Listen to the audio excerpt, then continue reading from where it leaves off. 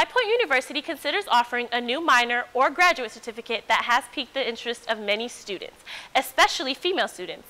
Find out what that minor is next on Q News.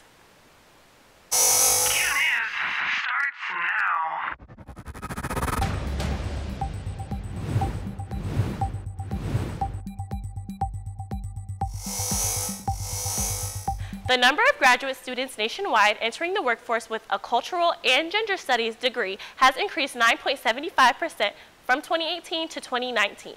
High Point University is polling students to see if they have an interest in minoring or earning a graduate certificate in women's leadership. I spoke to some students on campus to get their opinion on potential programs being brought to HPU is currently ranked number one in most innovative schools and they're not giving their title up anytime soon. Female students received an email regarding a new minor and certificate in the study of women's leadership that may be coming to HPU soon. The email explained that this could potentially be added to help prepare more women for leadership roles. COM student Allison Eiler gives insight on why this opportunity means so much to her. I think it's super cool that HPU has added um, the graduate certificate or minor in women's leadership because as a COM student, I am going into a field that is very male dominated. Um, of course, there's you know female presence there as well, but I think that it is super cool to be able to have that opportunity and have that chance to um, really take advantage of being a woman and being a female in a field that is typically male dominated. And I think that's really great, and I think it's a great opportunity for not just COM students, um, for any female who is going to HPU, and it really can be used for any field of work or any career, and I think it's a really awesome opportunity. Even though there is no definite decision on if women's leadership will be an approved minor and graduate certificate or not, it's created a lot of buzz around campus and even has some male students intrigued. Dalton Lucas, graduating senior, expresses why he thinks this is such a great idea. I would encourage people to get involved with the Women and Gender Studies minor and get the certificate at the end.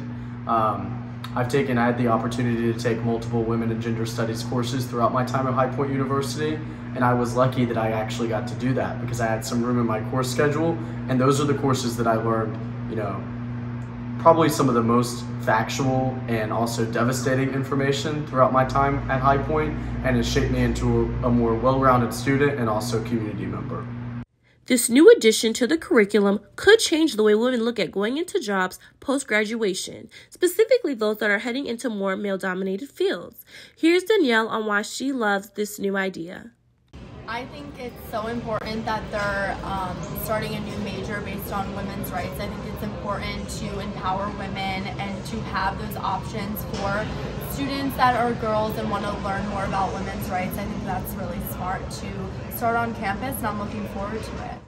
Although the Women's Leadership in Graduate Certificate isn't a guaranteed program at HPU, it is something that could be a game changer. For more information, visit www.highpoint.edu or email abauer at highpoint.edu. The number of people in the gym is skyrocketing on campus, and the importance of reaction time for esports players. That's up next on Q News. Welcome back to Q News. My name is David Kleinchuster, and I have one question for you. How are you treating your New Year's resolutions? Are you committing to a new diet or maybe cutting some of your TV time? Well, let's see what kind of cutting is going on in Slane Gym. Point University students returning for the spring semester. Many students are taking the lifestyle initiative of New Year, New Me in the gym. We've been able to see an increase this semester because people are feeling a little bit more comfortable um, with some of those regulations as well as just New Year's resolutions. So we're definitely seeing an increase. But how does this influx of new members impact avid gym dwellers? As a personal trainer, the increase of people coming into the gym has affected the exercises that I can give my clients as well as the machines that they use. So a lot of times when I'm training a client, if a machine is taken and they still have multiple sets left to go, I'll have to find an alternative. The best way many newcomers can learn in Slane Gym is to sign up for a personal trainer. Most people who sign up for training sessions are looking to increase strength and lose weight. Most of the people that come to me for personal training are people who either don't know what they're doing and want to learn how to work out, or it's people who want to tone up, for lack of better words, or just become more confident in themselves as well as them working out. Each training session cycle lasts six weeks, with this first semesterly cycle leading right up to spring break. Our personal training numbers, I'm actually going to pull it up, are through the roof. We had three trainers. We went from in the fall of 2021, there were 41 people that participated in our personal training program on like the first session, so from the beginning of the semester until fall break.